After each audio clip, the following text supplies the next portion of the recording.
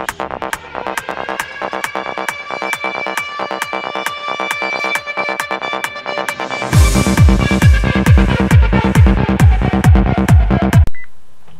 guys, so I haven't done a video this weekend uh, in the past I think two or three days. Um, I've been busy and uh, some stuff going on. Um, not to really throw my personal life into it, but I've had a lot of shit going on in that, and so I've been kind of down and not into a very uh, good mood. So the videos would not have come out good at all. Um, as you can tell, I got a haircut, and I also pierced my eye or my eyebrow um, yesterday. So tell me what you guys think of it. Um, probably tomorrow I will be starting videos again. So sorry to all my subscribers that subscribe to me for videos every day.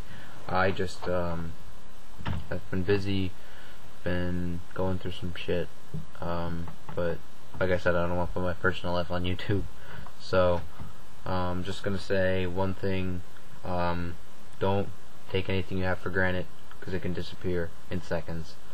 Um, so, hope you guys had a good weekend. Um, and I will be posting a video on probably web apps through uh, Firefox and an application on how to make web apps.